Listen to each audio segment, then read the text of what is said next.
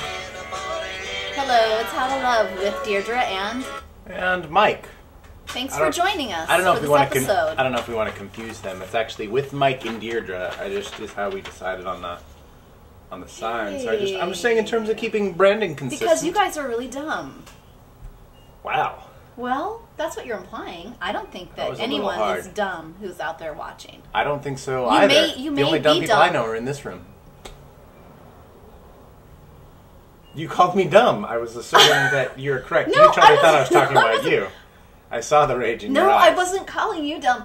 I was implying. I was saying that you were implying they were dumb. I'm saying I don't think any of you people are dumb. Maybe you are.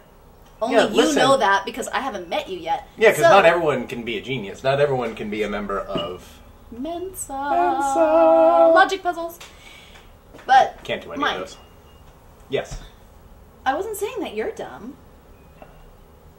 Well, but if I was calling them dumb, and these are the few people who watch our show, then that would actually be pretty dumb. So in a roundabout way, yet again, you I think you were calling me yourself without. dumb. Why would I call myself dumb? Well, that that's would be what I want to know. See, if I would call myself dumb, that would be dumb. So then again, you're still calling me dumb. Either way, you're insulting me. See, now, does this happen to you where things get turned around? Things get turned around. Oh, like Yeah. I don't know when you flip a mirror image, so then it's the actual accurate image. Is more or less what I feel like I've done.